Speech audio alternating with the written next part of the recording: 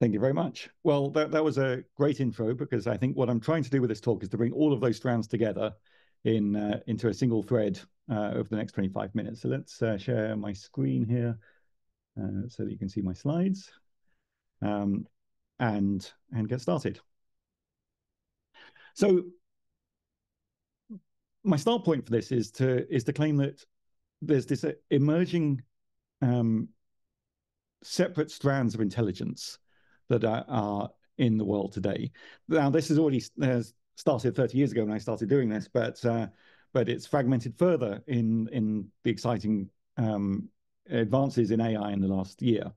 Because my claim is that there are now basically three kinds of of intelligence that are in widespread use out there. There is uh, statistical AI, as I'm going to call it, which is the kinds of things that uh, ChatGPT uh, uh, and uh, other large language models are doing and other generative AI approaches. You could also think of that as semantic AI. We're trying to um, attach kind of conceptual meaning to to things like images and and text and process with that. Um, then there is symbolic AI, which is very very much what I've spent the last 30 years doing, which goes under uh, um, other synonyms like computation or algorithmic intelligence. And then separately, there is the one that's always been around, which is human intelligence. And I want to take a little time to, to contrast those uh, before we go into the, the consequences. So let's let's look at each one first to understand what we're talking about. That one key observation is that the large language model approach, statistical AI, is it's not intelligence in, or understanding as people as some people are claiming. It is in the end doing one very simple task, which is statistically to predict words. So it's guessing at which words are likely to fit. It's looking for its its goal, its its only goal is to generate words that seem plausible for the situation. Now, it turns out that the breakthroughs in, of the last uh, couple of years have meant that it does that really very very well. So the words that follow uh, a question are typically the answer to the question, or the uh, the words that follow a statement can be the explanation of the statement, or they can be the responses that follow an instruction. So this kind of combination of the very short range prediction of uh, that uh, an adverb is near is probably followed by a verb are linked to long range things like the beginning of story uh, having to relate to the end, and and it's made breakthroughs that make the appearance of intelligence through uh, through the random generation of plausible words. Now, in contrast, uh, oh, so and so, you know, I'm sure you've seen these kinds of examples that give this very kind of fluent human-like uh, um, ability to generate text. So I can give it an instruction like describe Wolfram Alpha in language suitable for a seven-year-old, and it does a really pretty good job of that. But in the end, those are the words that are likely to have followed such a uh, request and likewise uh, asking it to explain something given some prompt. These are the this is the kind of explanation that you would expect to follow, and it's generated words that really do seem to answer that question very well. Now, I contrast that against what I think of as symbolic AI as being uh, you know, much more deterministic. It's defined rules of behavior for structured inputs. So what do I mean by that? If you think about a number as being a, a structured input. It's a very concrete, a meaningful uh, piece of, you know, if I do two plus two, two is a very meaningful uh, piece of symbolic content that it represents this sort of notion of quantity. And there are very defined rules for that two plus two will equal four and the way that you add in columns or uh, whatever that allows you to compute any addition or multiplication or much more complicated kinds of uh, computational behavior, but it's all taking something that's much more clearly defined and applying very precise rules of behavior to those to those inputs. So very different from the probabilistic what seems like it will fit that generative AI tries to do. Now, of course, that world is very large, and you know I've spent thirty odd years uh, helping to build out uh, the Wolfram language and Mathematica, our software technologies that and things like Wolfram Alpha that join these things up and implement them because there's the zoo of of computation that's been developed in all kinds of disciplines is really big. So that's things like classical statistics, but it's also things like geographic and geodesic computations. It's graphs and networks and relationships and flows. It's uh, it's time-related things like seasons and uh, and uh, trends. It's things like finding the best values, optimization, and and there's all kinds of structured data like audio and video input or textual input that all have their rules of computation about um, uh, about what words mean and synonyms. And then there's this collection of scientific things that every discipline has its own very specialized computations. Um, and likewise, there's lots uh, of engineering where a lot of this computation basically started in the world of physics um, and engineering to solve those kinds of uh, design or scientific problems, but it's spread into all kinds of different disciplines in the world. Um, and I, I, I, class into this group as well things like machine learning, uh, even though that is the basis of the large language models. The way that we build machine learning models is all very uh, much in the world of computation um, in order to build these kind of um, models that then have the emergent behavior of the large language models. So what's interesting um, uh, is that when you start thinking through what does intelligence mean and the kinds of things that uh, that humans used to do that artificial intelligence now seems to be able to do. Um, the, there's there's very clear distinctions between some of the relative strengths and weaknesses. The computation is really very good at uh, handling complex rules, and large language models and humans really aren't. This is why we find it hard to study maths, and and I'll show some examples uh, just to kind of make this clear in a moment. And likewise, things like large data, uh, sort of um, statistical data science type things, very much the realm of computation. And computation is incredibly reliable. If it works once, it pretty much works the next time. Um, and these things are, are, absolutely not true of large language models. But large language models are very good at a range of inputs. They can be human-like. They can contextualize things somewhat. They can deal with unstructured data somewhat. Um, and you know, at a diminishing level, there's a sort of level of creativity and even some strategic awareness, but it, they're very much fading out as we go down towards the bottom. Um, now, we're in the beginning of a field, and maybe some of these uh, gray ticks will fill in more. But fundamentally, the approach is never going to hit reliability because they're not designed for that, and they're not. they're only making the sounds of understanding. They're not understanding anything. So humans still have their place. Humans have their extra weaknesses, humans are terrible with big data, which is why we give so much weight to anecdotes. But there's some things that uh, that we're nowhere close to in terms of the wide range of inputs. You know, you can put a human in a car and they can drive pretty much anywhere, most of the time not crashing, and we are still nowhere quite uh, close to that, even in in a field that has had a huge amount of effort into making uh, AI models work. And while AIs make the sounds of emotions, there's no real emotional content there. So there's still very human characteristics that we haven't begun to scratch the surface of. So let me just give a couple of examples to, to make these things clear. Like it seems like LLMs can handle very complex rules, but but actually, as soon as you give them, you know, there's some great anecdotal examples of things that seem quite amazing, but there's no consistency to it. And actually, when you look closely, their unreliability is unreliability is really profound in rule-based uh, things, even down to the point that they can't count. They look like they can count because most of the time you ask it uh, questions, so you might have two or three digit numbers, that, and it's seen all of the examples of adding numbers and multiplying numbers. But as soon as you actually ask it to do something that requires using the rules of arithmetic, so here I've asked a slightly uh, more complicated arithmetic question, 3 to the power 45. We get an answer that's wrong. And this is um, this is what I got out of ChatGPT. This is the correct computation, which is utterly trivial to do in a computational world. And in fact, it's worse than it even looks at a glance because it looks like, well, they both began with a 2. And uh, so, um, you know, after that, they've gone wrong. But actually, if you count the digits, the uh, LLM version has got about three digit blocks too many. So it's about a thousand million times too big. It's not even in the same ballpark. All it knows is that a question like this is usually followed by a bunch of numbers. And so it gives you a bunch of numbers. That's its job is to be plausible. But it knows nothing about uh, about computation. And as soon as you go anywhere more complicated, like this calculus problem, here's the answer that it gives. Um, I can put the same thing into Wolfram Alpha, and you can see that at first glance they look a bit similar. They both got a quarter in, and they both got sines and causes.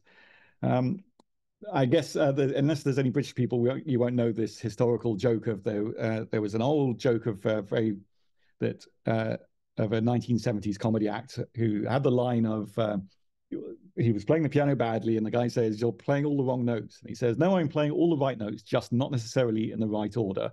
And that's pretty much the way LLMs do computation. Is that the answer has sort of all the right notes in it, but it's because it doesn't understand the relationship between these symbols, is just completely different answer. It's just wrong. Now, people think that because LLMs are built with massive amounts of data and seem to know lots and lots of stuff, they must be, you know, that that they're in the big data world. But they are fundamentally limited by an attention span that is relatively tiny. So this slightly out of date example I did in ChatGPT 3.5 uh, I deliberately gave it uh, slightly over 2,000 items and asked it a very simple question, what's the last number in the list? And it can't answer it. And that's because I knew that GPT 3.5's attention span was about 2,000, uh, I think it was 2,048 tokens. And so it simply can't hold a large amount of data. It, it is always working on a fairly small amount of attention span, just like a human, uh, where, you know, if I gave you this task you would shortcut it and go straight to the bottom. But if I ask you anything more complicated about here's a bunch of data, now tell me how many zeros there were, and you'd have you'd have no way of remembering all of the data. Uh, you're only ever working on snippets, and that's the way that LLMs work as well. Even though the attention spans are growing to something like 100,000 tokens for the state of the art now, that is nothing in data science terms. It's trivial for me to write code that says uh, let's make uh, 10 million digits and ask for the last number of those uh, in that list of 10 million random numbers, and it can just do it just like that in computational world. Um, now, the, the, one thing a lot of people are talking about, but it's only the tip of the iceberg about the re reliability, is this hallucination feature. And this is the example I, I grabbed a while ago to use for talks. And I like this not just because this um, answer to the question is wrong. This 33.4 million sheep in Turkey that I asked it about livestock in Turkey isn't isn't the correct number. But it, this actually illustrates quite nicely the fundamental problem that because they are targeted on plausibility, and correctness is a kind of nice side effect of that. Not only is it wrong, but it's making an effort to make the kind of noises that would convince me that it's right. So it tells me that it's got this from some reliable source called Turkstat well, I was a bit more pedantic and I actually went to Turkstat. And after a little while, I found the right page. And you can see that Turkstat is a real thing, that it's the Turkish government statistics bureau, but the number isn't correct. So it was just a lie to say that it got this number from Turkstat. Um, beautifully fluent, but it can't be trusted on, on things that are quite detail oriented. Anything computational, it tends to forget numbers. Um, it's, it's good in broad strokes, but not in anything precise. But something computation has always struggled with is handling unstructured data. So parsing the sentence that we can do as a human very easily, that was really hard until a year ago, just to be able to say how many dogs were mentioned in the following sentence and to be able to piece that together is kind of an amazing step forward. So we've got fundamental different approaches and fundamental different weaknesses that however much either improve unless a completely new idea comes along um, they kind of are ir irreconcilable strengths and weaknesses. So from a technical level, and my day job is very much this, is to try and figure out how can we combine uh, the best of each of these. That we want to, I, you know, we're doing a lot of work with engineering, uh, and this is why we've been very involved with uh, people like OpenAI, is because uh, we come along with this sort of computational world that we've been building for 30 years, people like OpenAI and Anthropic and uh, Google are, are, filling in uh, great advances in the large language model world. But the engineering challenge is to try and build systems that uh, that that put the best of both worlds together. And we can extend that idea to say, well, you know, um, how do we put the best of humans together uh, uh, with the best of these automated intelligences? And this is where I want to take a slight pivot. That's the background of what's changed in my worldview. But let's talk a little bit more now about the consequences. And we have been on this journey for a while that the value of intelligence has, has changed during our lifetimes. That there were a lot of things where human intelligence was extremely valuable for being able to solve problems, do things, make the world a better place, that now uh, is is not so is not as important as it used to be. The internet, uh, to, well, computers started this, of course, by being able to deal with uh, things like arithmetic. That it used to be we employed people just to add up numbers and uh, to you know keep ledgers uh, correct, and just doing that counting for us suddenly became trivial. The internet has reduced the value of knowledge. It is not so important to know a lot of things. You've got to know about things. You've got to know what things you don't know to know that you can look them up.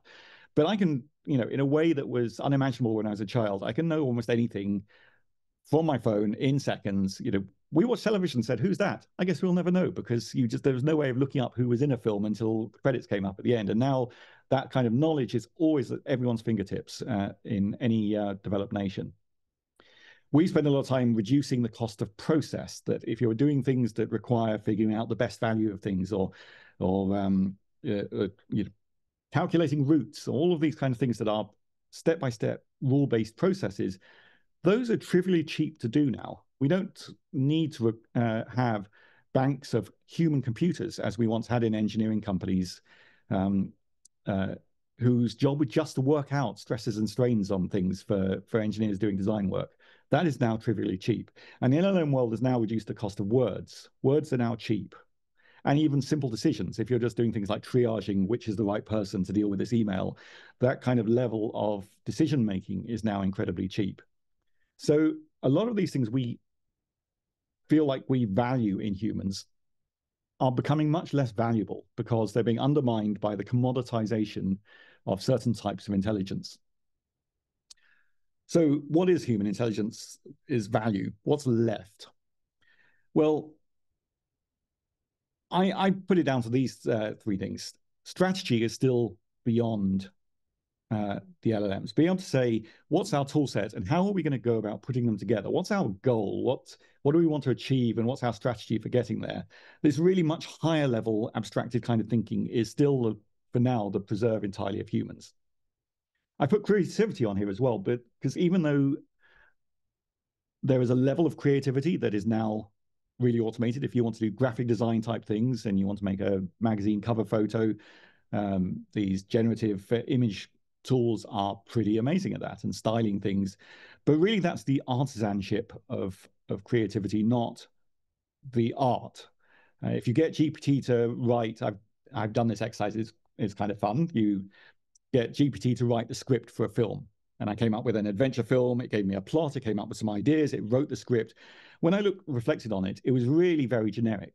But then I put on the TV to relax and I watched an adventure film that was really pretty generic. So one of the things we have to realize is a lot of things we mark up as creative industry actually are not very creative. They're just wheeling around stereotypes. And that end of creativity is being challenged, but not true creativity of new ideas.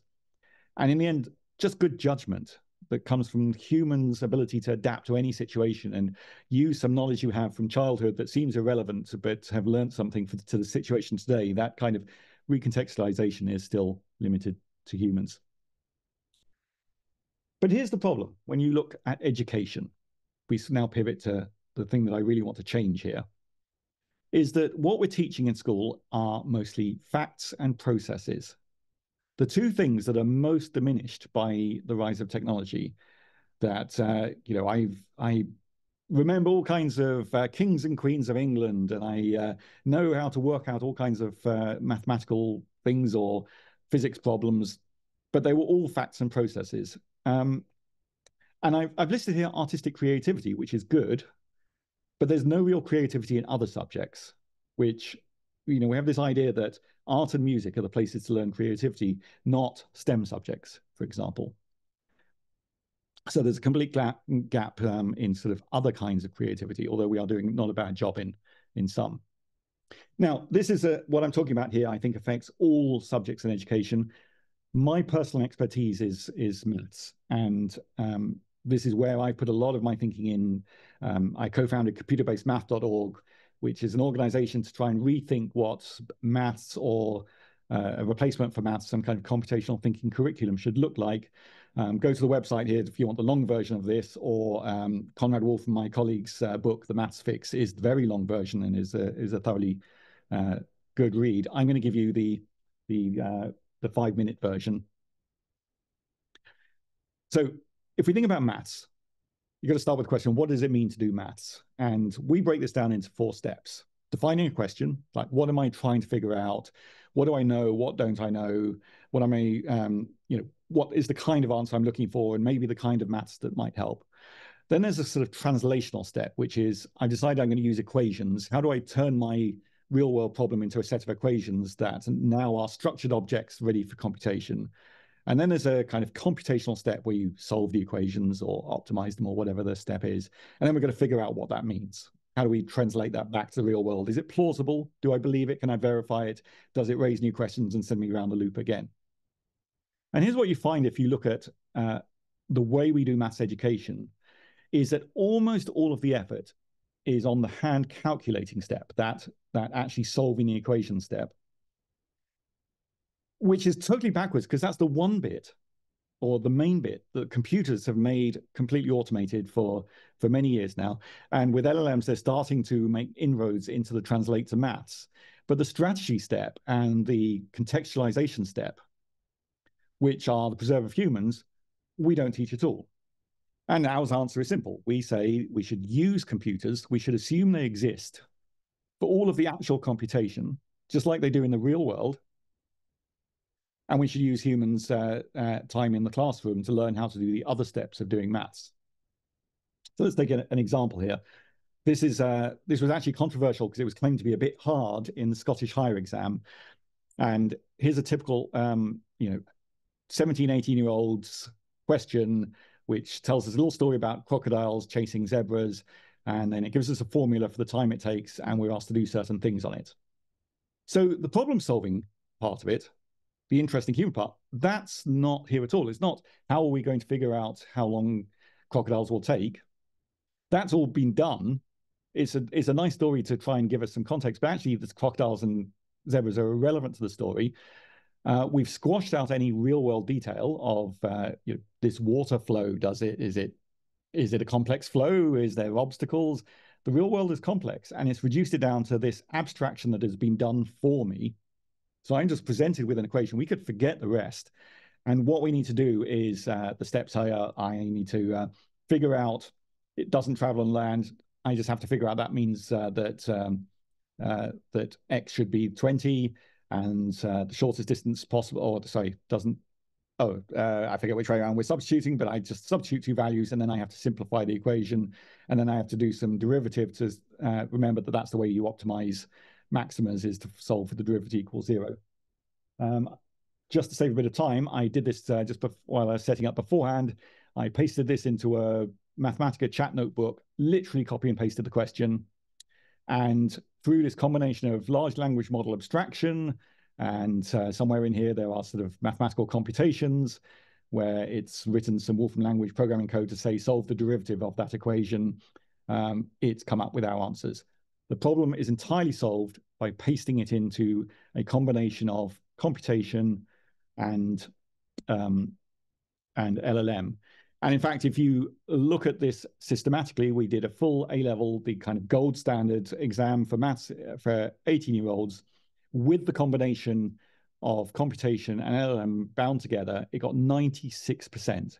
The 4% it dropped were easily fixed with a prompt from the user, user saying, no, it means something more like this. So it, all it took was a one line hint to fix the other 4%. It's completely game over for the things we're teaching people to be able to do because they are entirely automated by computer. And I want to make a quick point here that that people often get mixed up about. Computers definitely have changed the way we can teach maths, but what I'm talking about here is the subject we are teaching the wrong subject because we were teaching people to be computers, not to use computers.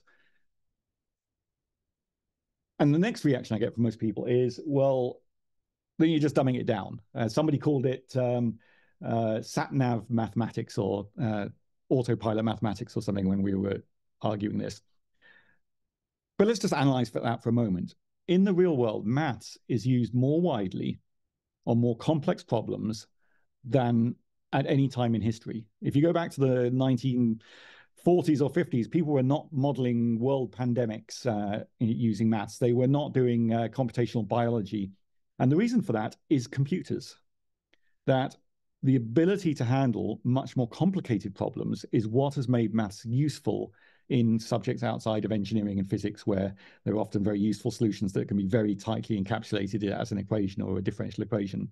The use in these other subjects is down to the fact that we can do more complicated maths before uh, because of the computers.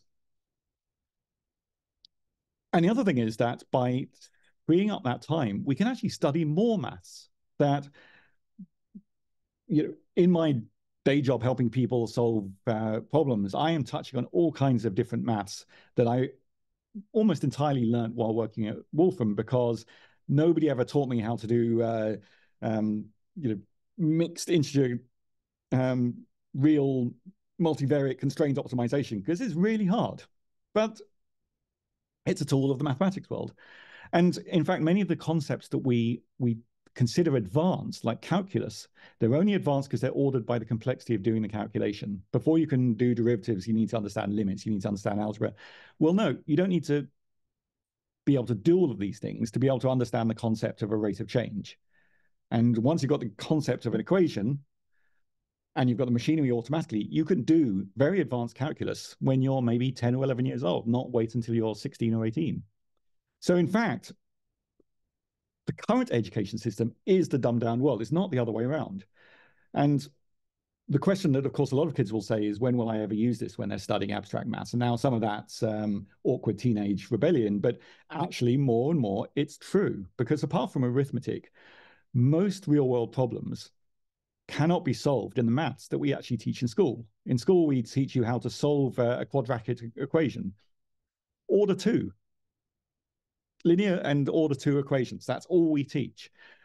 We teach nothing about how to solve uh, an equation that's order 17 or, or a system of equations with 10,000 unknowns. Nothing very useful is solvable with a quadratic or a simple uh, linear system of two variables, which is the, the extent at which we teach. And so actually to do real world problems, you need more complicated maths than you ever learn in school.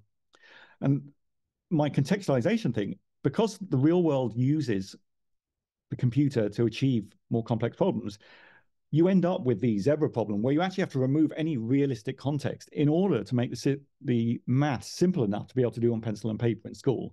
So we've made it simultaneously dumbed down in more limited concepts and very small scale problems and made it less useful because the actual maths doesn't, you know, the concepts apply, but the, the maths we learn to do uh, isn't used in the real world. Now, I'm overrunning a bit, so I'm going to skip over this uh, maths education mistakes and just talk about where we want to get to. Um, I think the the thing that we have to think about is that we're not workers anymore. More and more, and this is not just in maths, but is is particularly true in maths. It's not our job to do the work anymore. We are managers, and we are managers of the computer because as the computers get more intelligent, and also they get, you know, just like humans, they start becoming things that can do enough complicated behavior that you have to think about directing them and checking what they're doing and organizing them. And so our role now is to, just as a manager has to take experts in their team who may be able to do things they can't and organize them to achieve results together as a team, we have to take these, learn how to manage the intelligences that computers can provide. And it's a fool's errand to try and compete without automation. Um, in almost every place where we've tried to automate things, automation very quickly becomes better than humans. And we're definitely at that place in mathematics where um, I spent at least a year of my life practicing uh, symbolic integration, and I can trivially write down a calculation that I can do in a fraction of a second on the computer that I was never able to do uh, we'll always be outstripped.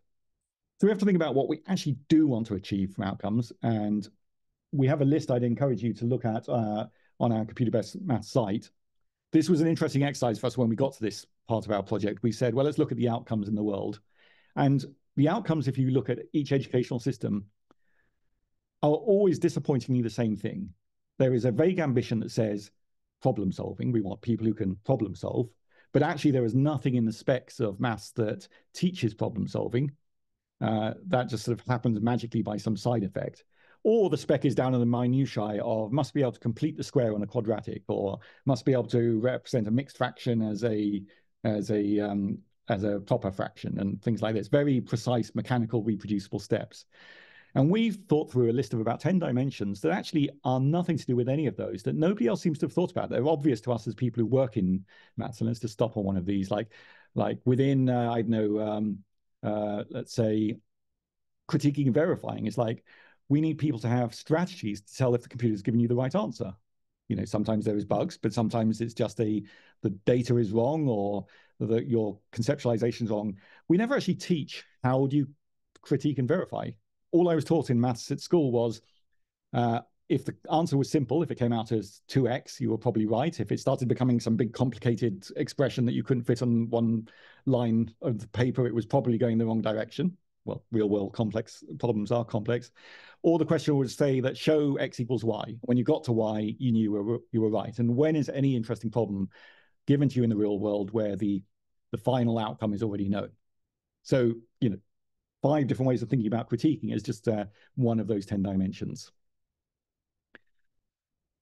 In the end, there's a big gain to be had here because in the same way that literacy helped to make a workforce of the 1800s ready to be workers, to be productive and to be able to contribute to society by being able to stay up to date with the news, some level of computational thinking is sort of today's um, goal of of uh, literacy, a sort of computational literacy for everyone.